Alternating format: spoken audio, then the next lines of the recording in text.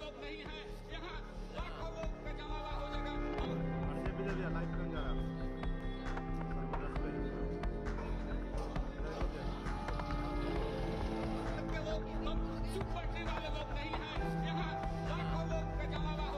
बेकार कह रहे हैं ईडी की हो या आईटी की हो या सीबीआई की हो।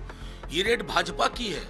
ये ये ये संगठन अब भाजपा के मातहत काम करते हैं। इन संगठनों का दफ्तर चलता है भाजपा के स्क्रिप्ट से। आज विश्वास मत का दिन। क्या नजीर पेश कर रहे हैं? अब तो प्रेडिक्टेबल हो गए हैं। कल ही हमारे डिप्टी सीएम ने मीटिंग में कहा था कि ये लोग अब इस स्तर पर जाएँगे। और आप तो तो 24 घंटे का भी वक्त नहीं लिया। उस स्तर पर उससे, उससे नीचे उतर करके आप सामने आ गए।